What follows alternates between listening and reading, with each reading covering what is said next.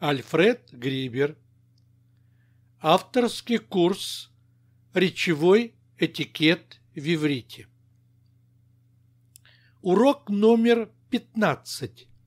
Формулы речевого этикета при запросе информации. Урок ведет Альфред Грибер.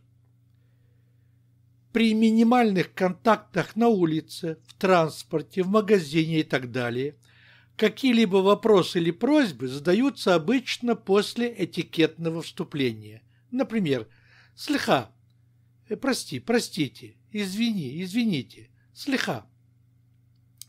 «Бевакаша», «Пожалуйста», «Будьте добры», «Будьте любезны», «Бевакаша». «Тислахли», «Прости меня», «Тислахли». Однако в тех же условиях, при более длительном общении, когда используются вторичные вопросы, уточнения или запросы дополнительной информации, вопросы или просьбы могут предваряться указанием на желание или необходимость знать что-либо. Например, «Аниро целишь олютха» – «Я хочу спросить тебя». «Аниро целишь олютха» אני רוצה לדעת, я хочу знать, אני רוצה לדעת.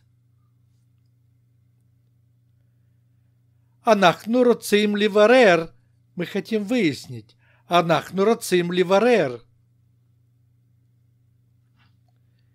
Выяснение различных обстоятельств при длительных контактах могут быть выражены следующими фразами. אני רוצה לשאול שאלה я хочу задать вопрос. אני רוצה לשאול שאלה.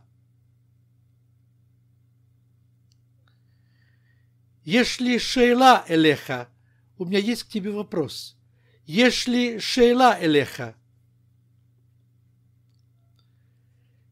извинительность, вежливость, доверительность и мягкость могут быть выражены следующей фразой «Аитероце я хотел бы, мне хотелось бы.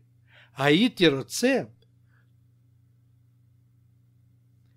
большая категоричность и требовательность при необходимости выяснения чего-либо могут быть выражены следующей фразой «Они царих» – «Я должен», «Мне нужно», «Они царих»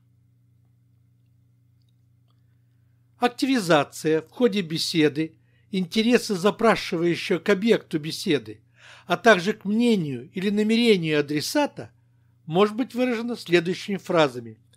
Мэньен – интересно. Мэньен.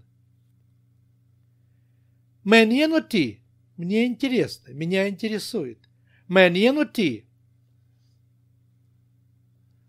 Акцентирование в ходе беседы важности каких-либо моментов для запрашивающего с точки зрения планирования его деятельности – может быть выражено следующей фразой. Хашув ли? Мне важно. Хашув ли?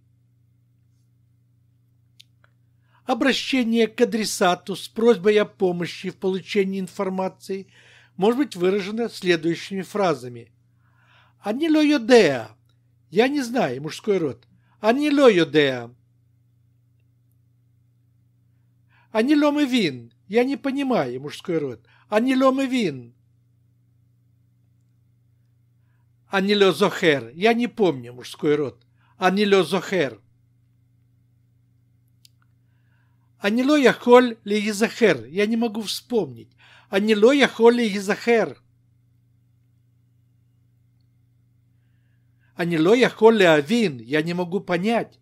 Анило Яхоль ли Авин. Шахахти. Я забыл или забыла. Шахахти переспрос или уточнение сведений могут быть выражены следующими фразами.